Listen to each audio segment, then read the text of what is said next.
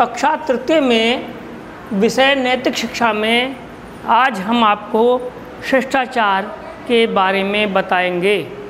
शिष्टाचार कहते किसे हैं? शिष्टाचार दो शब्दों से मिलकर बना है, शिष्ट प्लस आचार। अर्थात ऐसा हमारा आचरण जो सबको अच्छा लगे, यानी सदव्यवहार को ही हम शिष्टाचार कहते हैं। हम रात को सोते हैं सोने के बाद सुबह को उठते हैं तो सबसे पहले हमें क्या करना चाहिए? सबसे पहले हमें प्रातः स्मरण करना चाहिए। प्रातः स्मरण ये है, कराग्रे वस्ते लक्ष्मी कर मध्य सरस्वती कर मूले तु गोविंदा प्रभाते कर दर्शनम। ये इस प्रकार से इसके सात श्लोक हैं, उन श्लोकों को दोहराना चाहिए। उसके बाद फिर हमें अपने दादा, दादी, बड़े माता पिता भाई बहन जो भी हैं, उनके को, के चरण स्पर्श करने चाहिए, उनसे आशीर्वाद लेना चाहिए। उसके बाद फिर हम दैनिक कार्यों में निवृत्त हो जाएँ। दैनिक कार्यों से निवृत्त होने के बाद फिर स्नान करें। स्नान करके घर में ही भगवान के मंदिर में पूजा पाठ करें। पूजा पाठ करने के बाद में जब हम विद्यालय को आएँ तो अपने बड़ों को नमस्कार करके आएँ।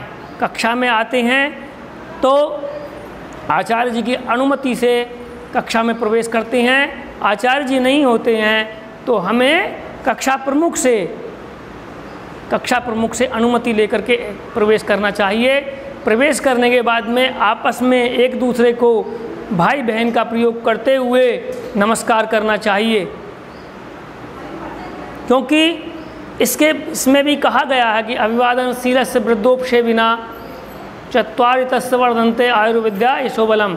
यानी उस व्यक्ति की उस व्यक्ति की चारों चीज़ बढ़ती हैं, जो अपने से बड़ों का नमस्कार करते हैं, अपने से बड़ों का सम्मान करते हैं, आयु, विद्या, यश और बल, ये चारों चीज़ बढ़ती हैं। दूसरे, जब हम कक्षा में हमारे आचार्य जी आते हैं तो हम उठ कर के अभिवादन करते हैं, आचार्य जी के कहने पर बैठते हैं। हमें किसी से कोई वस्तु लेनी होती है तो विनम्रता के साथ निवेदन करते हैं कि भैया, क्या मैं ये वस्तु ले सकता हूँ? कृपया आप मुझे ये वस्तु दे सकते हैं। इस तरीके के शब्दों का प्रयोग करते हैं। उनके कहने पर वस्तु को लेते हैं और जब लौटाते हैं तो उसके बाद उसको समय से लौटाना चाहिए और धन्यवाद शब्द अवश्य कहना चाहिए। अपने से बड़ों के नाम लेने से पहले उनके आगे श्री और बाद में जी ज़रूर लगाते हैं। कोई यदि सो रहा हो तो उसे हम बड़े आराम से जगाते हैं, ये नहीं कि उसे झंझोड़ दिया और जल्दी उठ जाओ। अपने से बड़ों को जब बोलते हैं तो तुम नहीं बोलते, उनको आप लगा करके बोलते हैं। उनको आप लगा करके बोलते हैं। जी, इस प्रकार कुछ चीज़ें हमारे विद्यालय में होती हैं, कुछ घर पर होती हैं।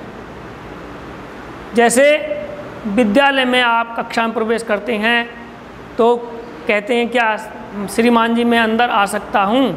उनके कहने पर ही आप कक्षा में जाते हैं। अपनी क्लास में बैठे हुए बच्चों को छेड़खानी नहीं करते हैं, सीधी ठीक से बैठते हैं, कक्षा में आचार्य जी की बात ध्यान से सुनते हैं।